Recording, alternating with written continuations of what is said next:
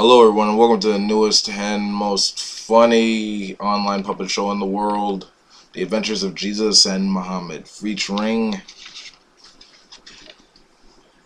Jesus, a 2,000 year old Jewish zombie supposedly born of a virgin mother and could turn water into wine, and Muhammad, the illiterate prophet who married a six year old and then had sex with her when she was nine.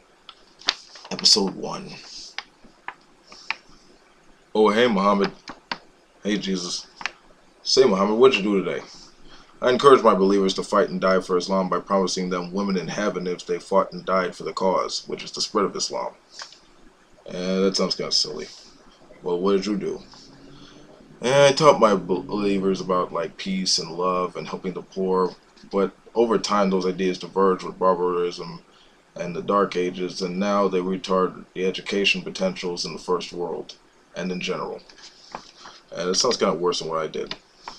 Well, religion on all sides are evidently divergent, as opposed to thoughts of rationalism and empirical data, which can actually have good advances in the modern world.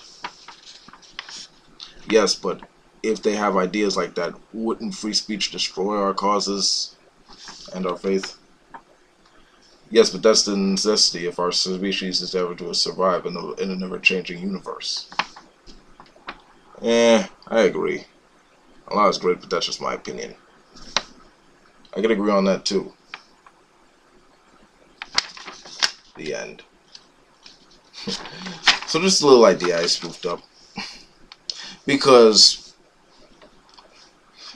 ideas that are simplified and reduced to basic components and particles like that can be uh, better understood in reality.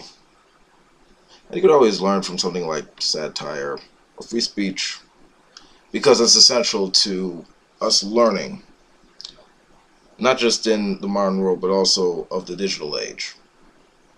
Thank you. This is Wolf King, out.